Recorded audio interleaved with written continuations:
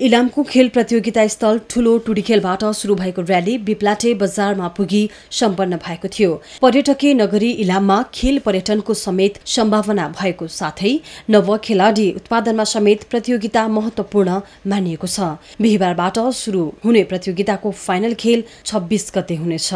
इलाममा दुई हजार एकहत्तर सालबाट वर्षेनी सञ्चालन हुँदै आएको यस प्रतियोगिताको यो तेस्रो संस्करण हो। तेस्रो संस्करण सुरु हुने लाग्दा आयोजकले तयारी अन्तिम चरणमा पुर्याएको आयोजक माइभ्याली फुटबल क्लब इलामका अध्यक्ष धीरेन चेम्जोङले बताए। प्रतियोगिता Mai valley football club Ilam र जिल्ला फुटबल सङ्घ इलामले संयुक्त रूपमा आयोजना गरेको हो। प्रतियोगितामा भारतका दुई सहित नेपालका ए डिभिजनका आठवटा टिम सहभागिता रहनेछ। प्रतियोगिताको विजेता टिमले नगद चार हजार सहित ट्रफी मेडल प्रमाणपत्र पाउनेछन्।